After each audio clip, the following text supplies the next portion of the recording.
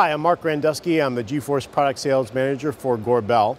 And Gorbel is a company, we make lives easier by helping them to lift and move things very ergonomically, up to 4,000 pounds with our light ergonomic rail, and uh, in conjunction with the G-Force and Easy Arm product line, which are intelligent lift devices. They're all servo powered. Gorbel's been around since 1977 and we're the North American leading manufacturer and what we do. What I'm going to talk a little bit about today is my product line, the G-Force and Easy Arm product line, which incorporates the B&R uh, control systems. One of the key features about the B&R product is the Automation Studio development environment. I know for a fact that when I talk to our engineers and our programmers, they really like the resources, the tools, the flexibility, the power that that development environment gives to them. In addition to the uh, control system, which includes the B&R drive, CPU, and motor, uh, we also have an optional X67 I.O. block from B&R that allows eight points of input and output uh, that we provide to our customers, that we program that, uh, those I.O. points out of the box. So that's a package. The B&R uh, product as a whole is a really uh, critical part of the G-Force and the Easy Arm product. Talked a little bit about the B&R control system and the internals,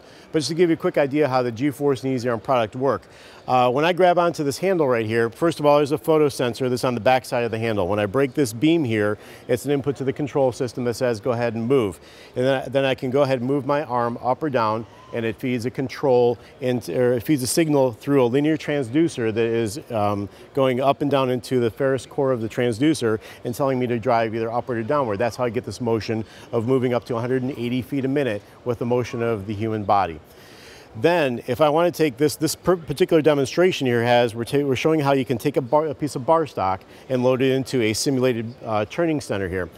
I could do that with this very precise control here. I've got a lot of control here. Even though it goes 180 feet a minute, I've got great control. I could do that like this.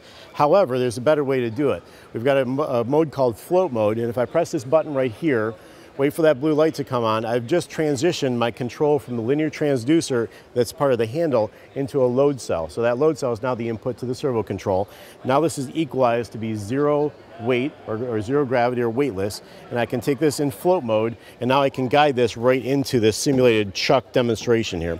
So I can easily get that in, guide it into the chuck and that demonstration right there for people doing this application in real life on their plant floor is a very valuable thing for them. If you'd like to know more about Gorbel or specifically the G-Force and Easy Arm products, you can go to gorbel.com, that's www.gorbel.com, and you can find a lot of resources, videos, case studies, and pictures and brochures, of course.